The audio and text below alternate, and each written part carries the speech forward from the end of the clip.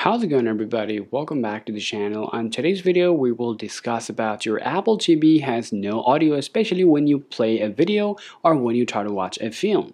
Now to solve audio related issue you gotta watch this video till the end so that you can solve your problem almost immediately.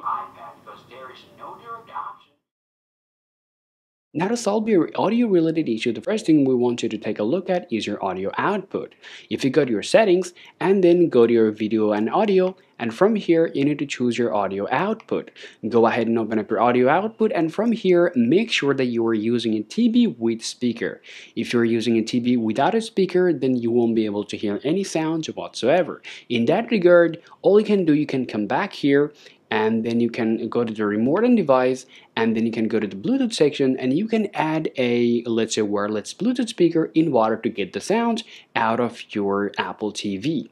Now this is the first things that you can do and let's say now your Apple TV has a speaker but it doesn't make any sounds whatsoever. What you can do now to solve that problem once again you have to go to your video and audio option and from here you have to scroll down all the way down here and you need to check your audio format. Go ahead and open this up and make sure to turn on your audio format click on change format and right afterward you have to make sure you're choosing Dolby Digital 5.1 on option. If you see it on the stereo, get back here and open this up. Now right afterward, go ahead and check whether your problem is solved or not.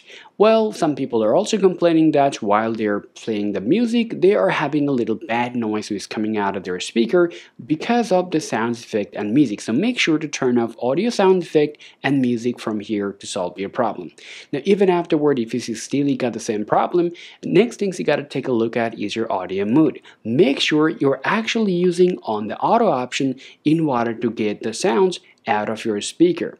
Now let's say you have done doing all the process but still you're not getting any sounds. What else can you do? The next things we recommend you to do, just go ahead and press the menu button and the home button simultaneously unless your device just get restarted, okay? Okay everybody, now after giving a, let's say the force restart on our Apple TV, if you see still the speaker is making no sounds whatsoever, then the next things you have to take a look at is your adjustment, okay? If you go to your settings and if you come to your accessibility, and from here, if you come down here and open up your balance here. Now, a lot of people at this point in time, they say their sound is coming, but which is really, really low, okay? Because they're using either left side or the right side. If you're not choosing the you know, center, then you will have this issue. So go ahead and balance your audio right under the center to solve your problem. Now, once you put it on the center, now get back here and take a look at your mono audio. Make sure your mono audio is off from here in order to solve the problem.